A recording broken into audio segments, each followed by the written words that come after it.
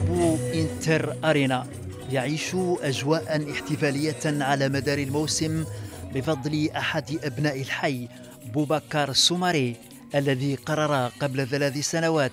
تشييد هذه المعلمه الرياضيه الصغيره في حي السبخه احد الاحياء الشعبيه والحساسه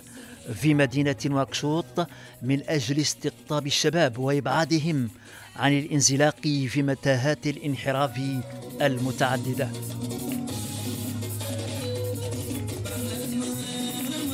qui joue au football sur un terrain, euh, c'est un enfant qui n'est pas dehors en train de faire n'importe quoi. Le football, c'est quand même un sport qui nourrit énormément de rêves. Un enfant qui arrive à grandir et en construisant ce rêve-là et en essayant de se dire c'est possible chez moi de faire quelque chose, cet enfant-là n'ira pas dans la rue faire n'importe quoi, il n'ira pas non plus euh, prendre des risques insensés pour euh, traverser la Méditerranée. que nous, pour nous, euh, la réussite, elle est avant tout chez nous. Il faut qu'on arrive à proposer.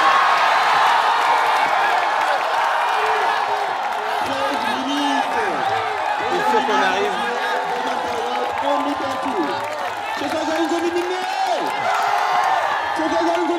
la délinquance, euh, ce n'est pas quelque chose d'inné. Nous, pensons que c'est la conséquence d'un mal qui est plus profond. Les gens, euh, les jeunes euh, s'adonnent à la délinquance, s'adonnent à la drogue pour remplir un vide.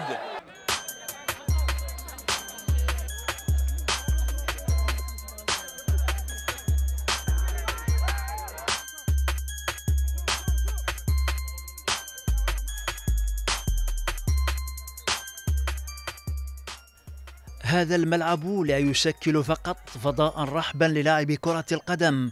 في أوقات الفراغ بل يعتبر اليوم قلعة متقدمة لمحاربة مخاطر الهجرة السرية وتعاطي المخدرات والجريمة والعنصرية التي توجد في طليعة التحديات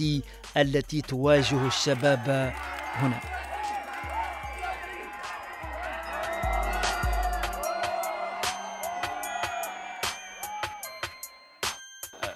الوقت الفراغ لدى الشباب هو الذي يستقطبهم إلى إلى إلى أن يكونوا مشاريع لمنظمات إرهابية أو حتى آه، أيضا لتعاطي المخدرات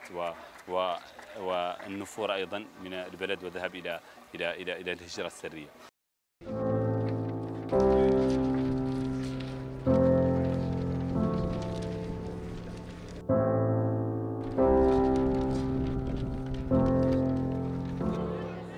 حادثة غرق أحد زوارق الهجرة السرية إلى أوروبا قبل أشهر ما زالت عالقة في الأذهان هنا حيث فقدت بعض الأسر أبنائها وحتى بعض الفرق لاعبيها لكن متابعة هؤلاء الشباب يداعبون كرة القدم بشغف كبير قد يشكل طوق نجاة لهم وأملا في مستقبل واعد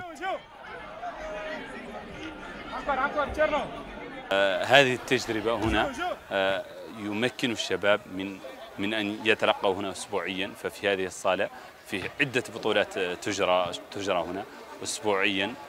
يجرى هنا عدة بطولات فيه بطولة أبطال فيه بطولة دوري درجة أولى ودرجة ثانية يلتقي فيه معظم الشباب بل حتى هناك أيضا بطولة تقام هنا للجاليات الموجودة هنا في موريتانيا جاليات أوروبية جالية إفريقية آه، كلهم يأتون هنا ليلعبوا هنا بطولات آه، تنظمه آه، هذا صالة أرينا هنا الذي بناه العمدة أبو بكر السماري الذي نعتبره فخر لنا في موريتانيا كذلك هذه الصالة له دور أخرى وهي أن,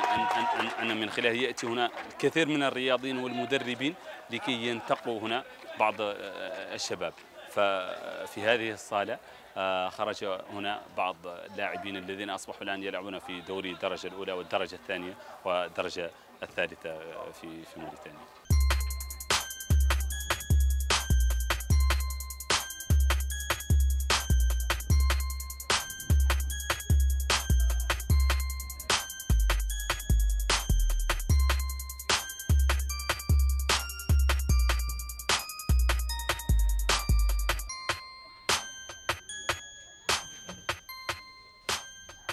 الملعب كلف فقط مبلغ 300 ألف دولار ويتسع لألفي متفرج وتم تشييده بمواصفات حديثة تحترم معايير السلامة وهو مفتوح على مدار الساعة ويستضيف سنويا بطولات لكرة القدم في مختلف الفئات العمرية فبناؤه لهذا المركب هنا آه،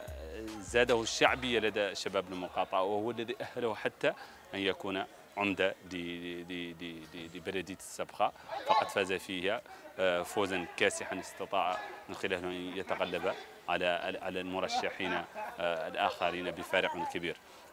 وكذلك آه، هذه الصالة والذي يعتبر قبلة لشباب مقاطعة السبخة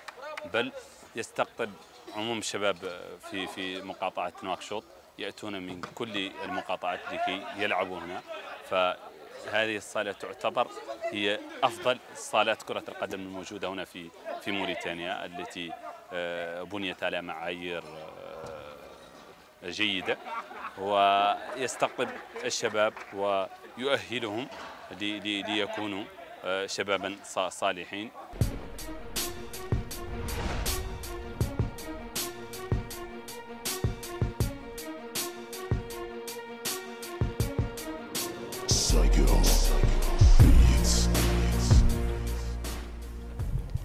منذ أن انتخب بوبكر السماري عمدة للسبخة الأهداف أصبحت أكبر والتحديات أيضا حيث لا تتوفر هذه البلدية على ملعب بمعنى الكلمة ومن هنا لا بد من مضاعفة الجهود وتوجيه جزء كبير من الموارد المتاحة من أجل توفير بيئة ملائمة ومنشآت قادرة على استقبال العديد من الشباب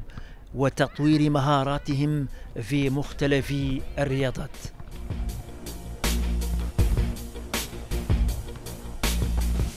pense que la jeunesse, de manière générale, elle a besoin d'être euh, éduquée.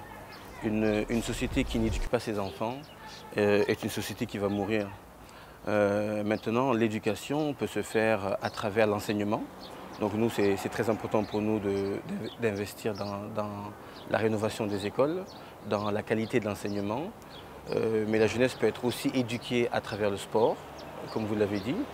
Euh, c'est pour cela que nous avons un programme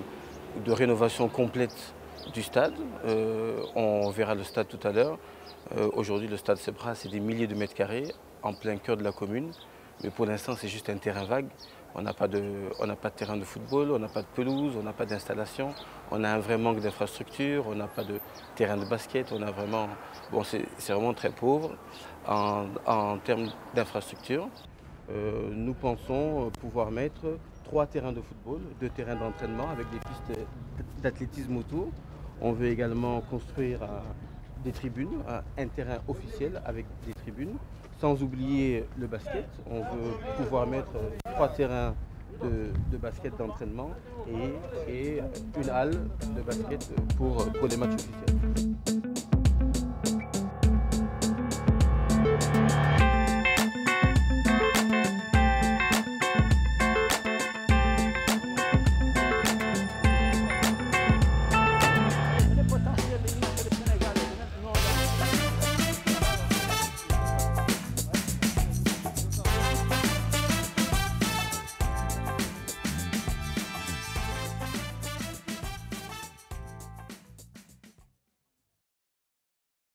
l'idée avec euh, ces, infrastructures, c'est de pouvoir proposer aux clubs de, la commune de pouvoir s'entraîner ici. On n'est pas très motivé pour leur donner de l'argent. Nous, on pense que ce dont ils ont besoin, ce sont des infrastructures, ce sont des équipements. Ce qu'on aimerait, c'est pouvoir leur proposer des terrains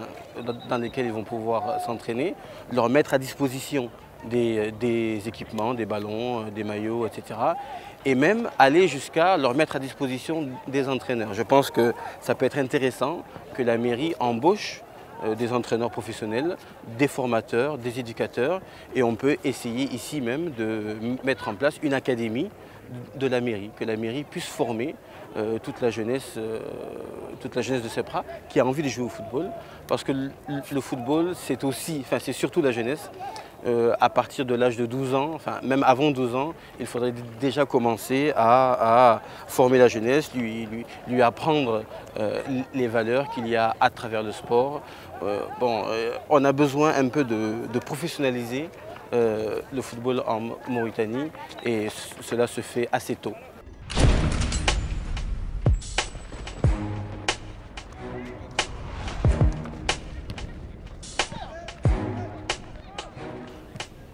غرس المذل السامية للرياضة لدى الشباب وفي سن مبكرة من خلال الاستثمار في مجال البنية التحتية والتكوين في كرة القدم هو الخيار المعتمد هنا في حي السبخة في مواجهة تفشي الانحراف والجريمة وتعزيز اللحمة الاجتماعية Euh, nous mettons euh, beaucoup d'importance dans la gestion de la sécurité. Euh, comme je l'ai dit tout à l'heure, on ne naît pas délinquant, on devient délinquant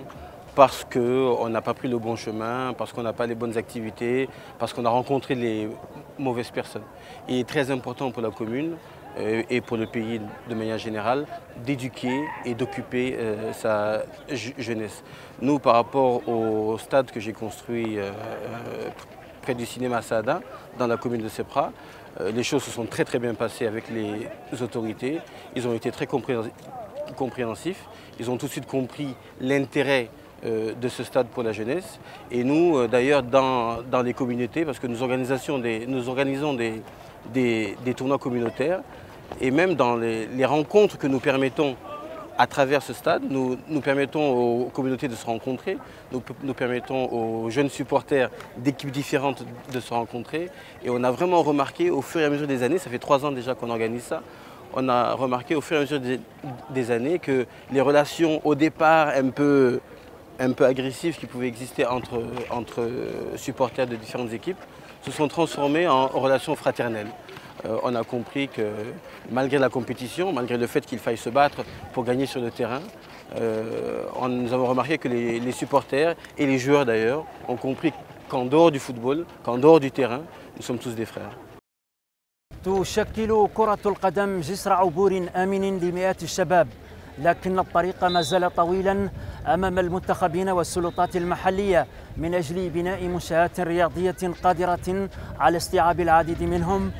إذ يشكلون اليوم نسبة تزيد على 60% من السكان